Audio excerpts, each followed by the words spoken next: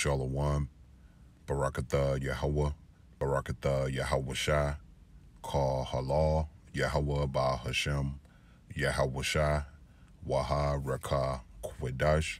Double honors to the men who taught me this truth, the apostles and elders of the great millstone. Also, peace and blessings to the hopeful elect, Lord willing. This lesson is edifying. This is going to be a quick lesson centered around the prophecy of prophecies, which is the coming of our Lord and Savior, Yahweh. All right? When we read the book of James, chapter 1, and verse 1, it says, James, a servant of the Most High and of the Lord, Yahweh HaMashiach, to the 12 tribes which are scattered abroad, greeting. So, the 12 tribes of Israel, starting with the so called Negroes on down to the so called Mexicans, are scattered abroad. All right, the famous diaspora. Okay. Now, our Lord and Savior, Yahweh all right, is coming back to gather the elect out of Israel that is scattered throughout the four winds of the earth. When we read the book of St. Matthew, chapter 24, and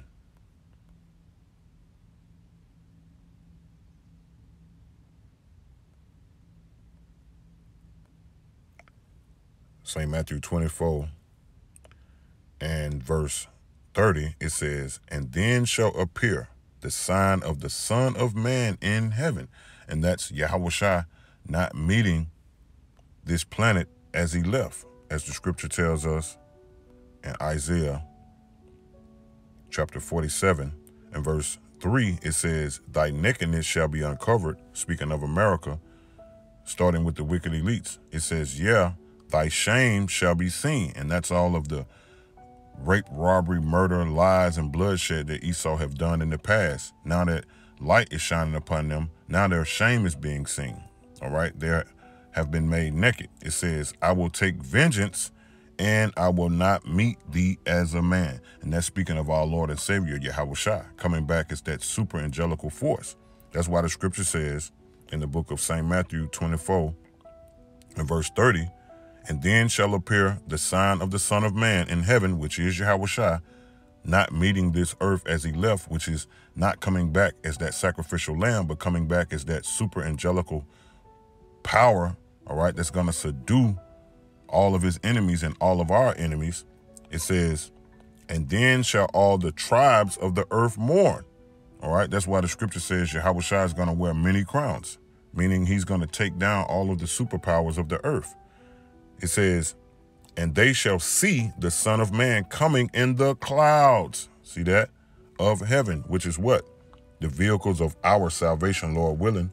We are part of the elect. The scripture tells us in the book of Psalms 104 and verse 3, it says, Who layeth the beams of his chariots in the waters, who maketh the clouds his chariots. See that? So we see what the uh, clouds represents.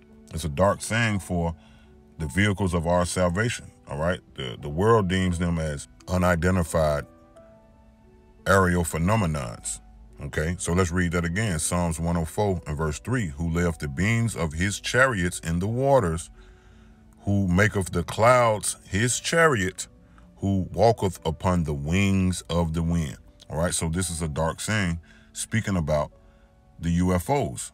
Okay which the world calls them UFOs, but we call them IFOs because we identify the flying objects as being the chariots of the elect's salvation.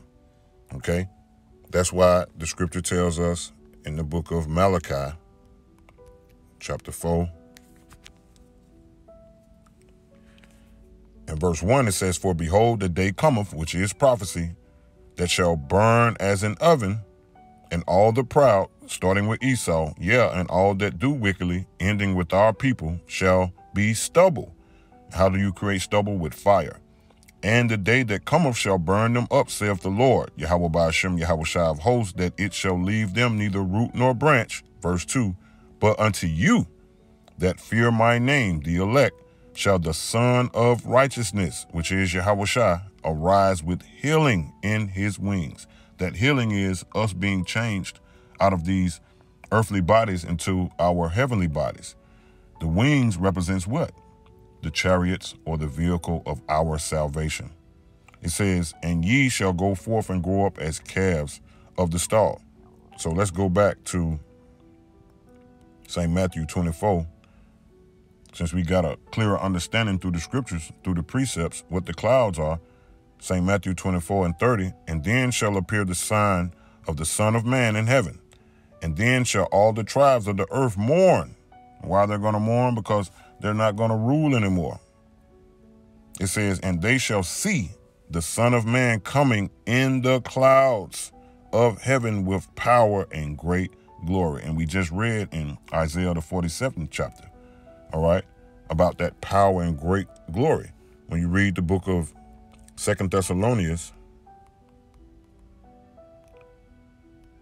chapter 2,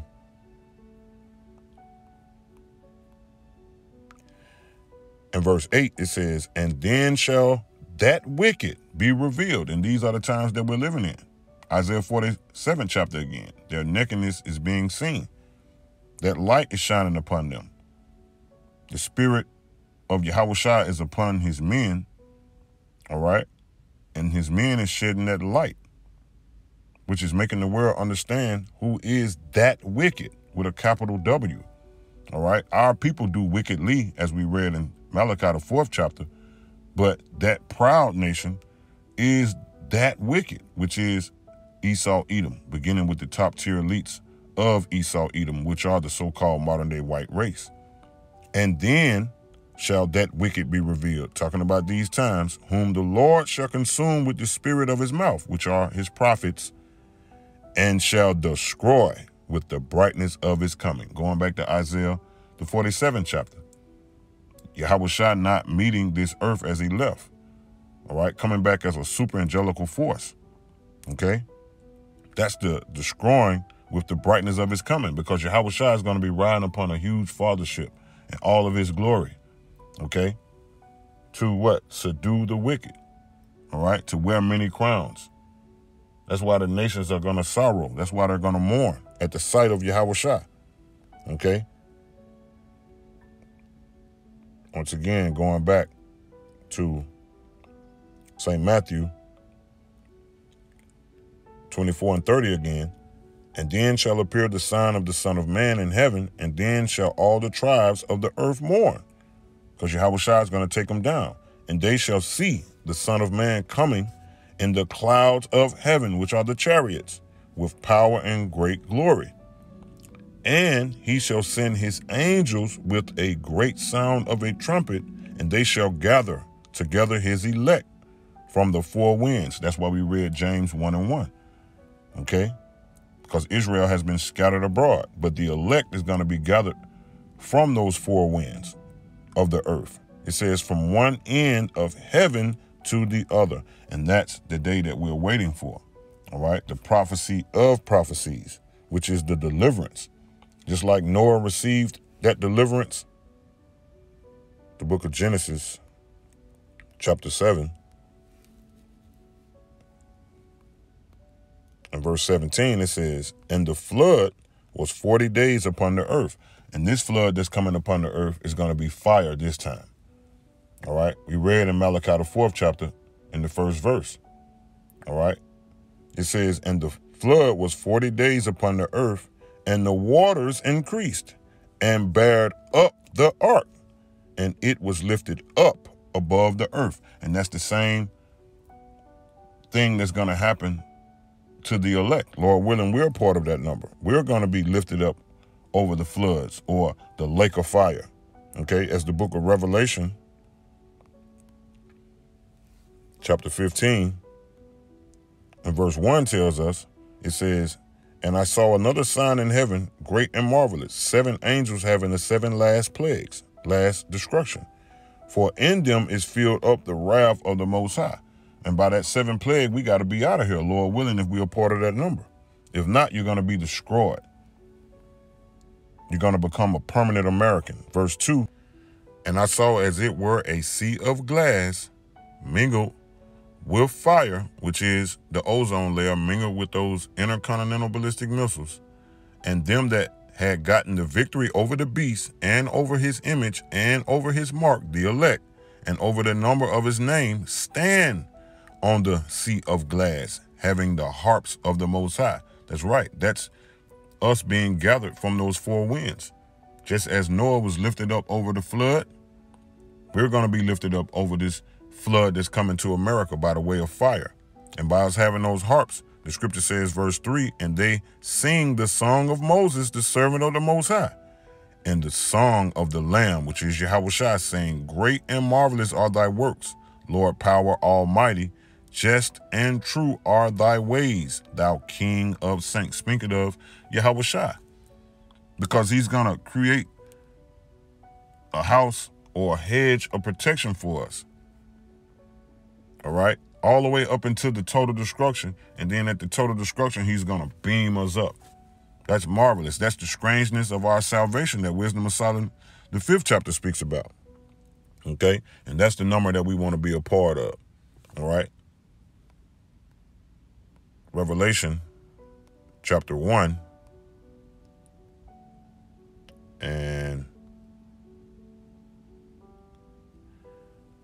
verse 6 it says and have made us kings and priests unto the most high and his father it says to him be glory and dominion forever and ever amen or so shall it be behold he cometh with clouds which is another dark saying for the chariots of the Most High, the vehicle of the elect's salvation.